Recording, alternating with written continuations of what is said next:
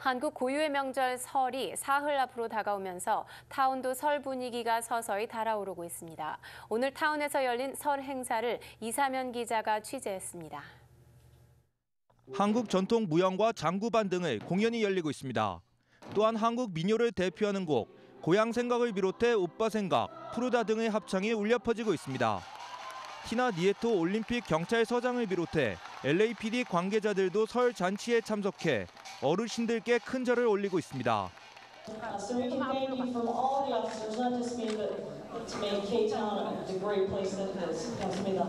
많이 아, 뭐 보고 배우는 주죠. 그냥 아주 좋은 행사인 것 같습니다. 목요일 설날을 앞두고 한인타운 노인센터에서 설날 대잔치가 열렸습니다.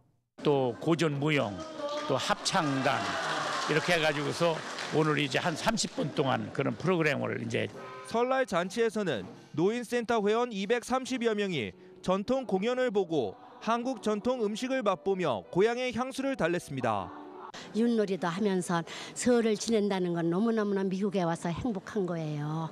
올해 처음으로 이렇게 한국 그 저기 민속 잔치를 열었는데 와 봤으니까 너무 기쁘고 재밌어요. 뭐 그냥 여기 오니까 뭐 한복 입은 그런 단체를 보니까 참 마음이 설렙니다.